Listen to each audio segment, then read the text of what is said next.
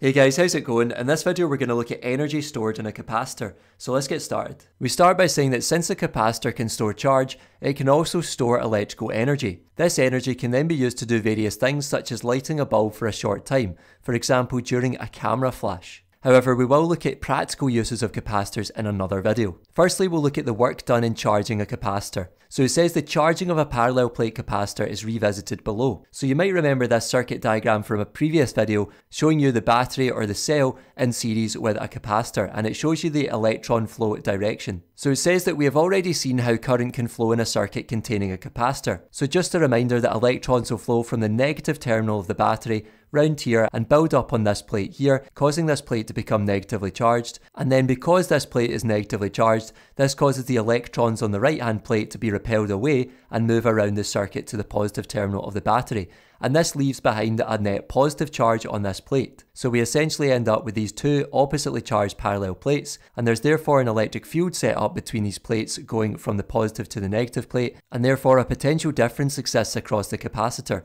And remember the electrons cannot jump across this insulating layer of air. It says that as negative charge builds up on one plate, following electrons trying to move onto the plate must overcome the electrostatic repulsion force between the like charges, making it more difficult to do so. So we're saying that as the electrons continue to move round in an anti-clockwise direction from the negative terminal of the battery round to this plate on the left hand side, each following or successive electron will find it harder and harder to get onto that plate because of the negative charge that is already building up on that plate. So remember electrons have a negative charge, so these negatively charged electrons will be repelled away from this negatively charged plate and they'll find it harder and harder to overcome this thing called the electrostatic repulsion force to get onto this plate. In order to move charges onto the plate, however, the cell must do work against this force by supplying the electrons with enough energy. And we say that the work required to put charge onto a capacitor plate against this electrostatic repulsion force will be equivalent to the energy stored in the capacitor. Now we can actually find the energy stored in a charged capacitor from the graph of charge against potential difference for the capacitor.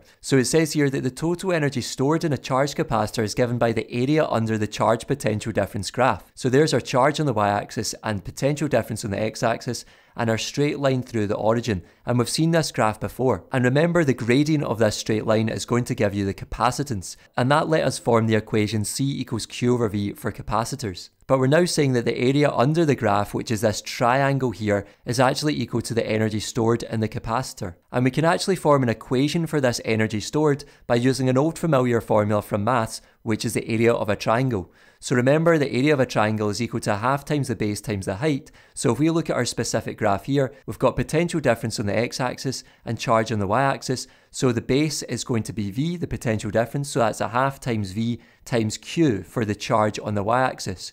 So we have a half times V times Q, or if we rearrange this slightly, we get E equals a half QV, which is our first equation for energy stored in a capacitor, where E is the energy stored measured in joules, Q is the charge measured in coulombs, and V is the potential difference measured in volts. It then says to note the larger the capacitance of a capacitor, the more energy it can store and the longer it takes to charge. Lastly, we'll look at some more energy relationships that exist.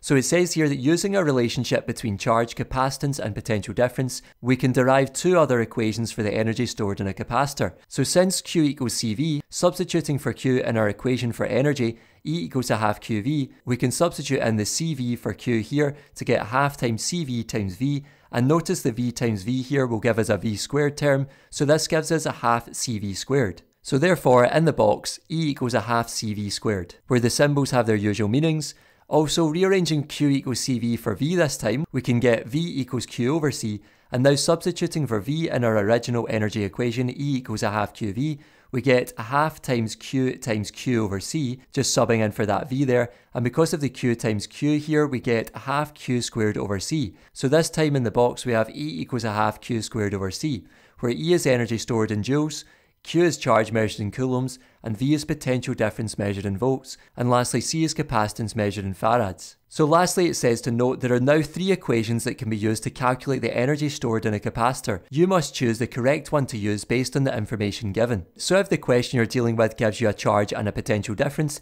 then you're going to use this equation E equals a half QV to calculate the energy. If the question, however, gives you a capacitance and a potential difference, then you want to use this one, E equals a half CV squared. And lastly, if a question gives you the charge and capacitance, then you want to use this equation here, E equals a half Q squared over C. That's all for this video folks, thanks for watching. If you made it to the end, I really appreciate it. Make sure to give the video a thumbs up, subscribe to the channel, and I'll see you in the next one. Take care.